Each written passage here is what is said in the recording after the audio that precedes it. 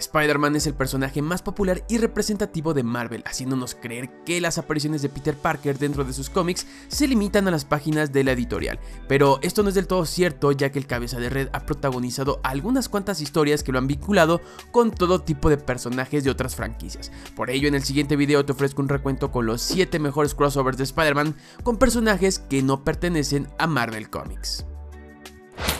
Spider sense is tingling. Showtime! Your job.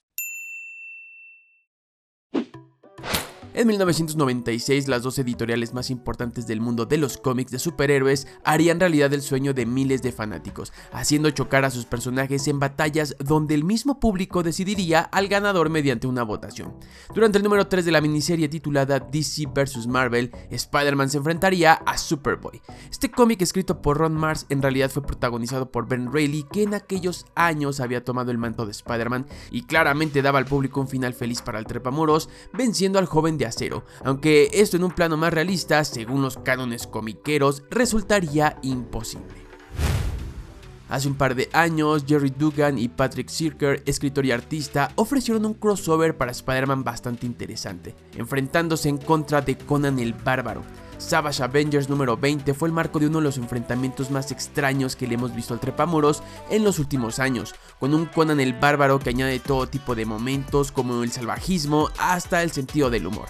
Cabe destacar que aunque Marvel publicó durante mucho tiempo cómics de Conan el Bárbaro, este no es de su autoría, sino un personaje como Star Wars o el Depredador para la Casa de las Ideas. Invencible es un personaje que hoy en día es bastante popular debido a su adaptación en la serie animada de Prime Video, pero en 2005 la creación de Robert Kirkman logró hacer equipo con Spider-Man. No es ningún secreto que Peter Parker fue una enorme inspiración para el escritor a la hora de crear a Mark Grayson, por lo que verlos actuar juntos en esta historia fue mágico. El Marvel Team Up 14 llevó a Spidey a aferrarse a su cordura a la hora de soportar las mismas bromas que él suele hacer a otros héroes, ahora provenientes de Invencible, ofreciendo para los lectores un muy buen momento de ambos personajes. Y hay un video sobre este hecho en el canal, puedes ir a verlo después de terminar con este episodio. Attack on Titan recibió a Spider-Man y algunos personajes más de la Casa de las Ideas en un crossover lanzado en 2014 del título Attack on Avengers. Escrito por C.B. Cebulski e ilustrado por Marvel, la historia ve a la ciudad de Nueva York bajo el ataque de los titanes. Los héroes del universo Marvel, como el Capitán América, Hulk y los Guardianes de la Galaxia, luchan contra ellos. Spider-Man incluso logra manejar algunos por sí solo, volviendo a brillar en una historia que no muchos conocen, pero deberían leer. En 1985 Marvel comenzaría a publicar cómics de Transformers, en otro caso de licencias de personajes que no necesariamente son de su autoría, pero que abrieron las puertas para ver a Spider-Man chocar contra ellos. Fue en el número 3 de su serie en regular escrita por Jim Salicrop que Spidey obtiene su primer encuentro con Optimus Prime y compañía.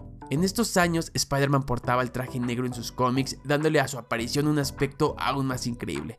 Años después, en 2007, la editorial publicó la miniserie New Avengers Transformers de Stuart Moore y Tyler Kirkman con un Spider-Man chocando nuevamente y haciendo equipo con los Autobots. ¿Qué ocurriría si Spider-Man conociera a Batman? Esta pregunta fue respondida durante la historia titulada Spider-Man Batman Mentes Desordenadas. Publicada en 1995 bajo los guiones de JM de Mateis, el argumento presenta al murciélago y al trepamuros uniendo fuerzas para derrotar a dos de sus rivales más emblemáticos, el Joker y Carnage. Claramente a DC y a Marvel no le interesaba enfrentar a sus personajes insignia, decidiendo que ambos trabajasen juntos, con Peter Parker siendo un dolor de cabeza para Batman. El potencial de ver juntos a estos dos personajes se ve disminuido por la estructura y propuesta del cómic, digno de la década de los 90, que solo arroja un increíble arte cortesía de Mark Bagley. Denominada la batalla del ciclo, Superman vs. The Amazing Spider-Man supuso el crossover más ambicioso entre Marvel y DC. Al exhibir la triste realidad de cómo Spider-Man jamás podrá vencer a Superman en un mano a mano, Jerry Conway, quien escribe la historia, lleva ambos personajes a hacer equipo en contra del ex Luthor y Doctor Octopus.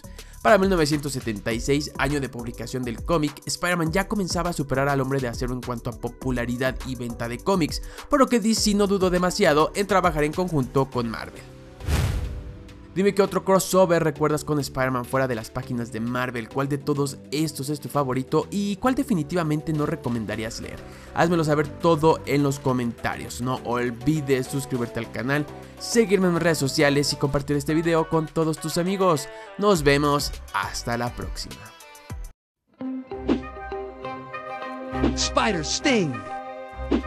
Maximum Spider. So close. One for JJ. Come on. Web swing. Oh!